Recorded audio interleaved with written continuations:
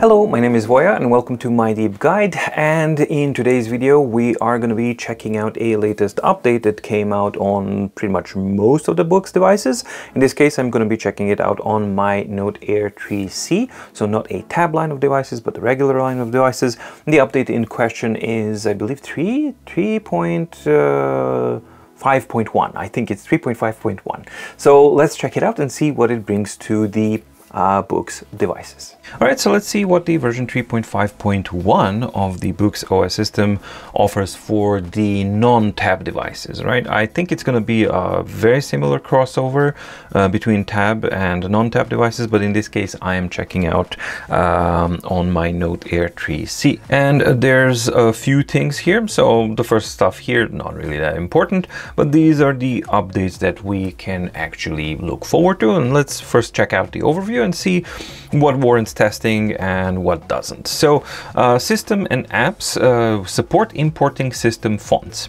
That I think is really cool, but I'm not going to be doing that yet simply because that requires a lot of testing back and forth and a lot of restarts. But in theory, what that actually allows you is to import any font that you like, that's I believe within certain limitations, and then you can use um, that specific font to be used system-wide on all the menus everywhere uh, and that is a recipe for a really good thing and a really bad thing because if you load custom uh, fonts it can turn into a disaster. On top of that each time you want to apply the new fonts you have to restart the device. So that's something that I'm not going to be testing out in this one. This is uh, I'm just letting you know that that's something that now you can do which is I think pretty cool.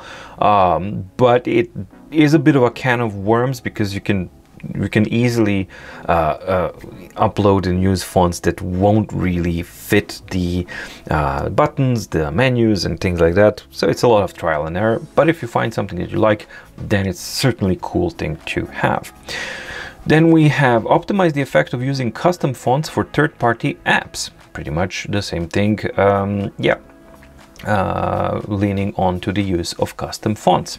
Support using email or phone numbers to unbind the uh, other Onyx accounts. Support customizing the navigation bar. Um, that I'm not really sure what do they mean. I will check that a little bit more because if this is the navigation bar, then then that's something that we used to have, but we'll see if they have more options or not. Then we have fixed Wi-Fi connection issues on some models, fixed input issue when connecting to a wireless keyboard. I never had that. It's good to know. Fix the issue of input method co uh, covering input boxes in some apps. That I've had, so that's a good thing. Fix the issue of some devices freezing due to stylus interference. Never had that. That's weird, but that's interesting to actually have that as an option. And yeah, if I go into settings and gestures, there's the navigation bar here and excellent yeah. So before you had the uh, option to choose between preset options but now we have custom and then in the custom you can actually arrange them any way you want which is great. It says tap to add tap to remove. So, okay so for example uh, can I rearrange them by dragging yep so if I want back there I want my um, home here I want my refresh over here. I guess press and hold a little bit. Okay, maybe like this. Okay, that worked better.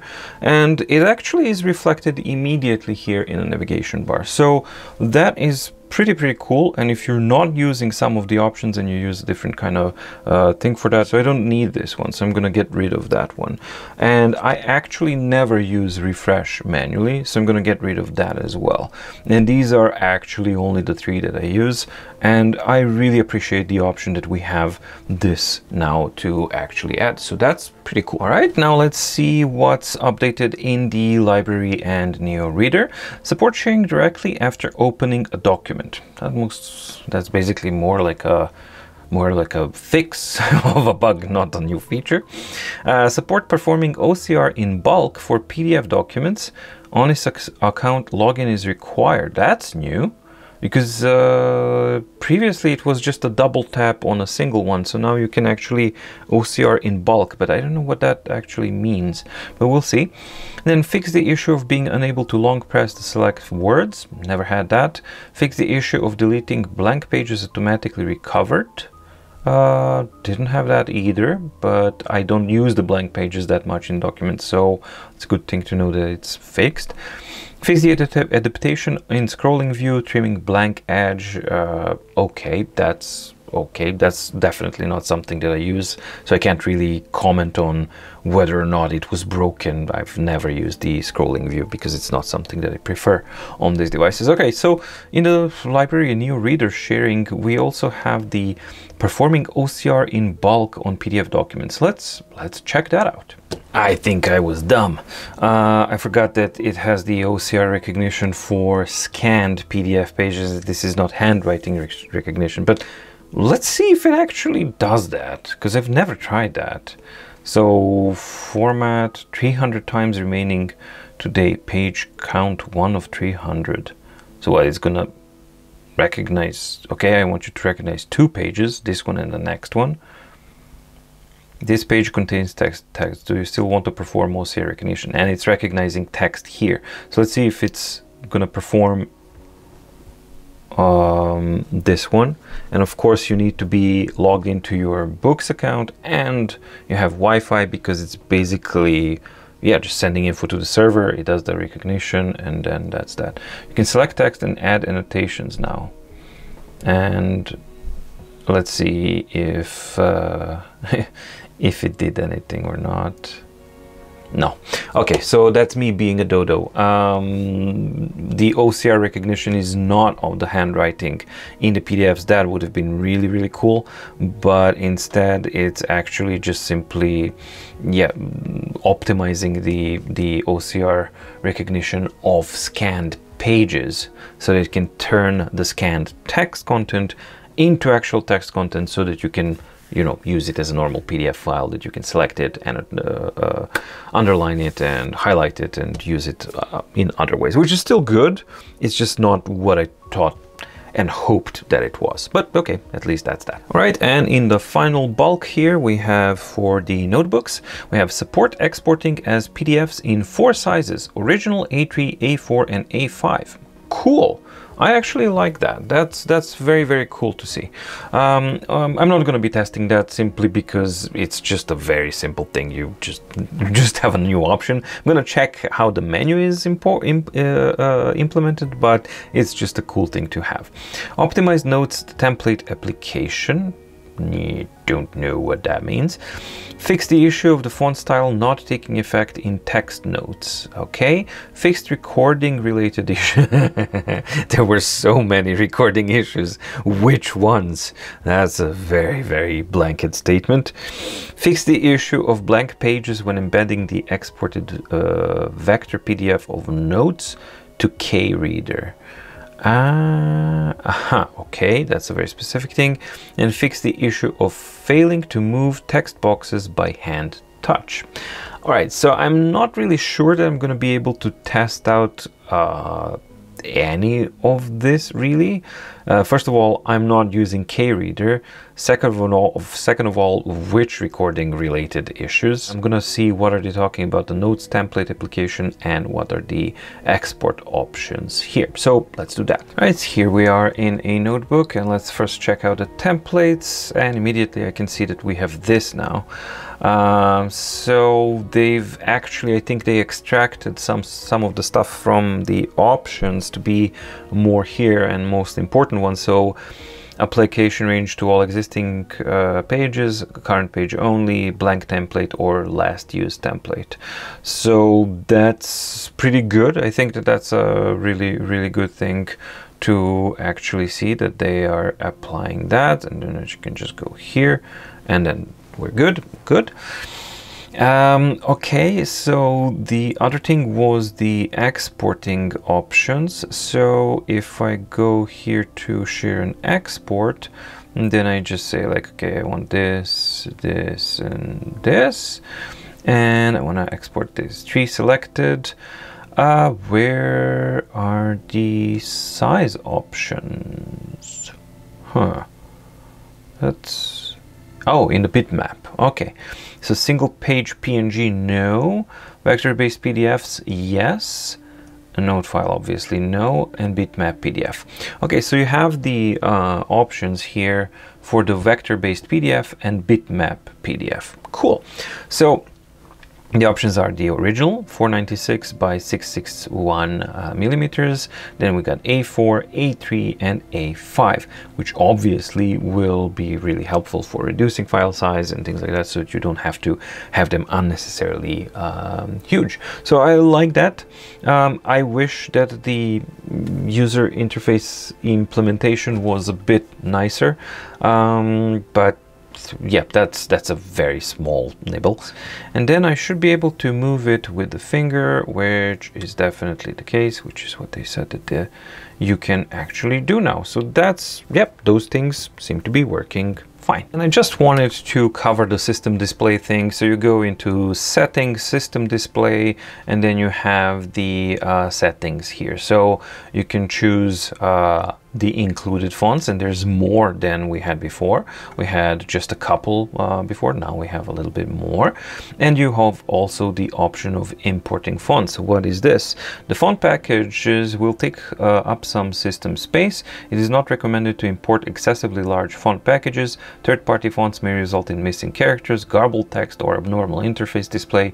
Please confirm before importing. Supported formats are TTF, TTC, and OTF. So yeah, stuff that I said. It's like opening a can of worms. You have to give it a warning sign here, but you can import fonts. Yes.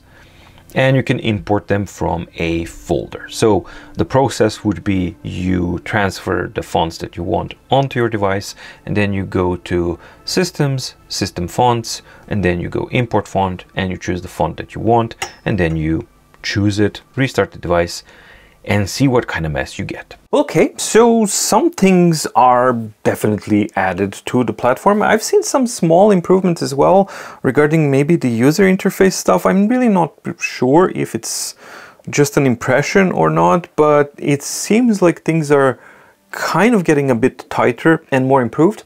I wish that I had seen maybe in this one, for example, more obvious improvements, well, some of these are quite nice and interesting and fun. I mean, system fonts are certainly going to be a fun thing to explore. It's useful that you can actually customize the navigation bar. Those are really, really nice uh, customer or user creature comforts.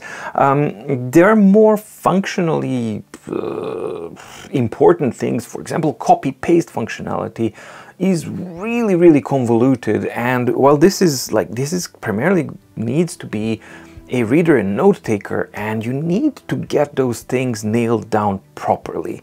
And the platform still doesn't have that. So while on the one hand I do like that uh, certain things are being addressed and these creature comforts are certainly nice to have, yeah, appropriate choice of words. These are nice to haves, but on the bottom behind them you have should haves and behind them you have must haves. And we certainly have quite a few must-haves that have not been addressed yet. So in my mind, tackling the nice-to-haves before having the must-haves ready and done is not really, um, yeah, it's not, it's not a great place to be. But that being said, uh, it's certainly better than what Remarkable is doing. Um, it's miles away from that, unfortunately. Um, that speaks more of the remarkable, not of this.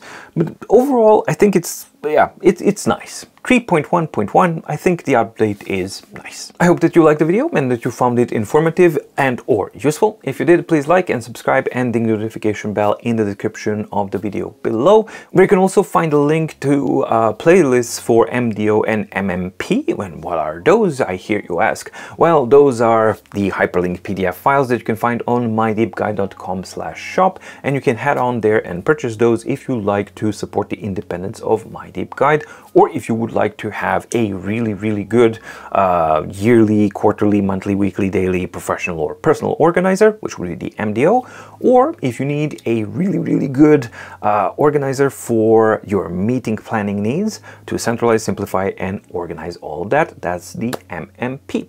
If either of those sounds interesting, check out those playlists below and then you'll see if these are the products for you or not. Either way, purchasing of these products helps directly the independence of my deep guide because as you can see, I don't have sponsored content or anything like that. My opinions are my own and yeah, my work is my own. So yeah, purchase of these products directly helps support that independence and my work. Let me know what you think about the update itself, about the features, and what are things that would be most important for you if you're a Boox user. And also it would be interesting, like if you were a Boox user and then you kind of moved away from Boox for some reason, what would be the features that you wanted to see but you didn't actually get to see on the Boox? Because i think those would be interesting to parallels to kind of hear from you guys from the real world users. Thank you so much for watching. Stay safe stay healthy and see you in the next video. Bye